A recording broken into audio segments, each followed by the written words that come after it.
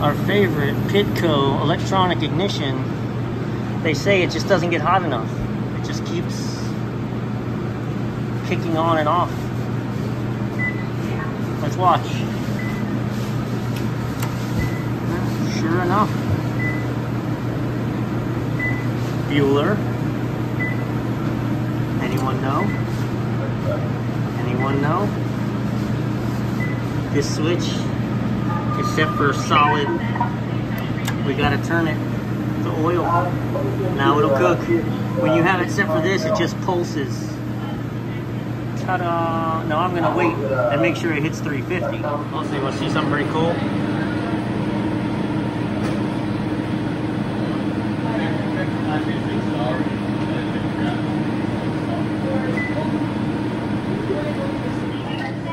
All right, this is what I wanted to check. I turned it to 250. It is 250. Oh, ah, well, she shut off now. It is 250-ish. And it's satisfied.